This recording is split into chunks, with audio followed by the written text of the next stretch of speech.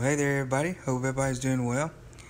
In today's video I did some rabbit stew. I wanted to call it hair in my stew because I'm a lover of puns, but I didn't know if I'd title as that and someone would be like, what in the world? Don't want to watch this.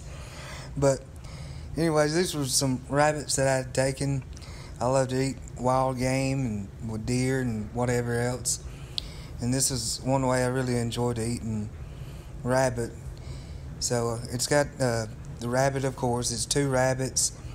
Cut up some sausage here.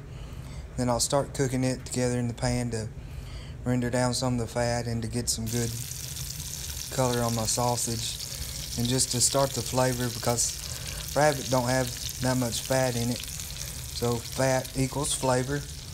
And if so, I'd be really delicious.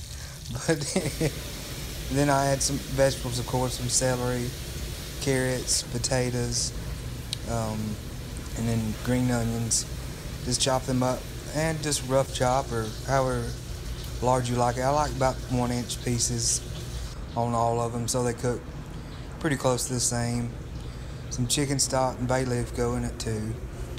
And um, once I've cooked off my sauces and stuff, I'll take it off.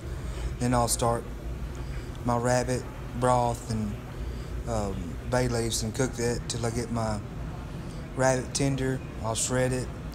Then I'll add my vegetables back to the pot, cook them, get them done, tender.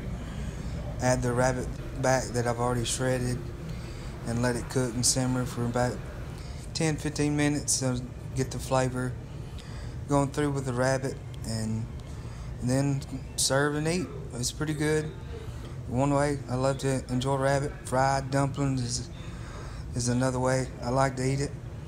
But anyways, I hope y'all enjoy this. I love y'all. I'll catch you on the next one.